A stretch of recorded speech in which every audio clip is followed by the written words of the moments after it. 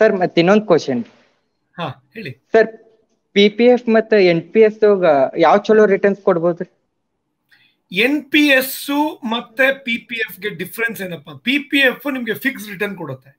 ಆದ್ರೆ P P F rate ದಿನದಿಂದ ದಿನ ಕಡಿಮೆ ಆಗ್ತಿದೆ. ಸೊ ನನ್ನ ರೆಕಮೆಂಡೇಶನ್ ಪಿ ಪಿ ಎಫ್ ಬೇಡ. ಪಿ ಪಿ ಎಫ್ ಬದಲು. ಎನ್ ಪಿ ಎಸ್ ಹೋಗೋದೇ ಬೆಟ್ರು ಅದು ಪೆನ್ಷನ್ಗಾದ್ರೆ ನಿಮ್ಗೆ Okay, ಬೇರೆ. ಏನ್ ಯಾವ ರೀಸನ್ ಇನ್ವೆಸ್ಟ್ ಮಾಡ್ತಾರೆ ಸರ್ ಹೆಂಗ ಲಾಂಗ್ ಟರ್ಮ್ ಆಗಿ ಇನ್ವೆಸ್ಟ್ ಮಾಡ್ಲಿಕ್ಕೆ? ಅಲ್ಲ ಬಟ್ ಏನಕ್ಕೆ? ಅಂದ್ರೆ ರಿಟೈರ್ಮೆಂಟ್ಗ ಅಥವಾ ಬೇರೆ ಏನಾದ್ರು ಹದಿನೈದು ಇಪ್ಪತ್ತು ವರ್ಷ ಬಿಟ್ಟು ದುಡ್ಡು ಬೇಕು ಬೇರೆ ಏನೋ ಕಾರಣಕ್ಕೆ ಇಲ್ಲ ಸರ್ ರಿಟೈರ್ಮೆಂಟ್ ನಿಮ್ ತಂದೆಗಾ? ಹಾ ಸರ್ ಅಂದ್ರೆ ನಾನೇ ಈಗ ಇನ್ವೆಸ್ಟ್ಮೆಂಟ್ ಮಾಡ್ಬೇಕಂತ ಪ್ಲಾನ್ ಮಾಡೇನ್ರಿ sir then don't do it ನಿಮ್ಗೆ ಅಂದ್ರೆ ಈಗ ರಿಟೈರ್ಮೆಂಟಿಗೆ ಅಂದ್ರೆ it's long way to go ನಿಮ್ಗೆ ಎನ್ ಪಿ ಎಸ್ ಅಲ್ಲಿ ವಿಡ್ರಾ ಮಾಡೋದಕ್ಕೆ ಒಂದಷ್ಟು ರಿಸ್ಟ್ರಿಕ್ಷನ್ ಇರುತ್ತೆ. ಸೊ ಹಾಗಾಗಿ ನನ್ನ suggestion then you go with large cap mutual fund okay sir that's better ಈಗ Okay. ಹೇಗಿದ್ರು ಬ- ದೊಡ್ಡ ಅಮೌಂಟ್ ಏನಲ್ವಲ್ಲ ಎಷ್ಟು ಸೇವ್ ಮಾಡಬೇಕು monthly sir mutual fund invest ಮಾಡ್ಲಿಕ್ಕೆ ಹಾ ಎಷ್ಟು ಎಷ್ಟು ಸೇವ್ ಮಾಡ್ತೀರಿ ಮಂತ್ಲಿ ಥೌಸಂಡ್ ತನಕ ಸೇವ್ ಮಾಡ್ತೀನಿ ರೀ. ಸೊ ಹಾಗಾದ್ರೆ ನೀವು ಲಾರ್ಜ್ ಕ್ಯಾಪ್ ಮ್ಯೂಚುವಲ್ ಫಂಡ್ ಅಲ್ಲಿ ಮಾಡ್ತಾ ಹೋಗಿ.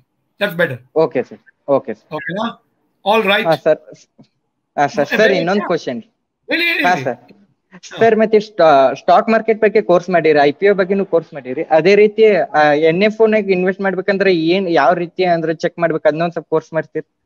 ಮ್ಯೂಚುವಲ್ ಫಂಡ್ ಅಲ್ಲಿ ಎನ್ ಎಫ್ ಒ ಹೂಡಿಕೆ ಮಾಡುವಾಗ probably I think I done it ನಾನು ಕವರ್ ಮಾಡಿದೀನಿ ಅಂತ ಕಾಣುತ್ತೆ ಬ್ರೀಫ್ ಆಗಿ ಮ್ಯೂಚುವಲ್ ಫಂಡ್ ಕೋರ್ಸ್ ಅಲ್ಲಿ.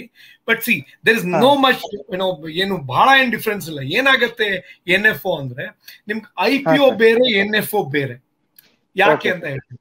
ಐ ಪಿ ಒದಲ್ಲಿ ಹೂಡಿಕೆ ಮಾಡುವಾಗ the underlying asset is the company ಅಲ್ಲೊಂದು ಕಂಪನಿ ಇದೆ ಕಂಪನಿಯ ಫಿನಾನ್ಷಿಯಲ್ಸ್ ಇದೆ ಪಾಸ್ಟ್ ಪರ್ಫಾರ್ಮೆನ್ಸ್ ಇದೆ ನೋಡ್ಕೊಂಡು ಮಾಡ್ತೀರಿ.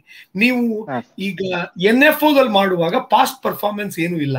ಪಾಸ್ಟ್ ಪರ್ಫಾರ್ಮೆನ್ಸ್ ಅಂದ್ರೆ ಫಂಡ್ ಮ್ಯಾನೇಜರ್ ಯಾರು ಅವರ ಬ್ಯಾಕ್ ಗ್ರೌಂಡ್ ಏನು ಅವ್ರ ಹಿಸ್ಟ್ರಿ ಏನು. ಅದು ಮಾತ್ರ ನಿಮ್ಗೆ ಪಾಸ್ಟ್ ಪರ್ಫಾರ್ಮೆನ್ಸ್ ಆ ಫಂಡ್ ಮ್ಯಾನೇಜರ್ ಒಳ್ಳೆಯವನಾಗಿದ್ದು ಫಂಡ್ ಹೌಸ್ಗೆ ಕ್ರೆಡಿಬಿಲಿಟಿ ಇದ್ದು ಇವರ ಇನ್ವೆಸ್ಟ್ಮೆಂಟ್ ಥೀಸಿಸ್ ಅಂತೀವಿ. ಇನ್ವೆಸ್ಟ್ಮೆಂಟ್ ಥೀಸಿಸ್ ಅಂದ್ರೆ ಎಲ್ಲಿ ಹೂಡಿಕೆ ಮಾಡ್ತಾರೆ ಯಾವ ತರದ ಸ್ಟಾಕ್ಸ್ ಯಾವ ತರದ ಕಂಪ್ನಿಗಳು ಆ ಆ ಥೀಸಿಸ್ ಒಂದ್ ವೇಳೆ ಕನ್ವಿನ್ಸಿಂಗ್ ಆಗಿದ್ರೆ then go ahead and do it okay sir ಓಕೆನಾ.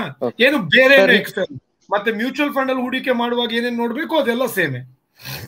ಹಾ ಹಾ ಸರ್ ಸರ್ ನಿಮ್ ಮೀಟ್ ಮಾಡಿ ತುಂಬಾ ಖುಷಿ ಆಯ್ತ್ರಿ ಸರ್ ನಿಮ್ ಲಾಸ್ಟ್? ಲಾಸ್ಟ್ ಟೈಮ್ ನಿಮ್ ಲಾಸ್ಟ್ ಟೈಮ್ ಮೀಟ್ ಮಾಡಿದ್ದು sir workshop financial freedom workshop ರೀ. ಚಾನ್ಸೇರಿ ಫ್ಯೂಲಿಯನ್ ಹುಬ್ಳಿ ಅಲ್ಲ? ಇಲ್ರಿ ಸರ್ ಬೆಂಗಳೂರಿನಲ್ಲಿ ಚಾನ್ಸೇರಿ ಫ್ಯೂಲಿಯನ್ ಚಾನ್ಸರಿ ಬೆಂಗಳೂರಿಗೆ ಬಂದಿದ್ಯಾ ಯಾರ್ಯಾರು ಹಾ ಬಂದಿದ್ರಿ? ಸರ್ ಟೂ ನಾನು ಒಬ್ನೇ ಸಿಂಗಲ್ ಬಂದಿದ್ದೆ ವಾವ್ ವೆರಿ ಗುಡ್ ಸೊ ಹಾಗಾದ್ರೆ ನಿಮ್ಗೆ ವರ್ಕ್ಶಾಪ್ ಬಂದಿದ್ದು ಹೆಲ್ಪ್ ಆಯ್ತಾ?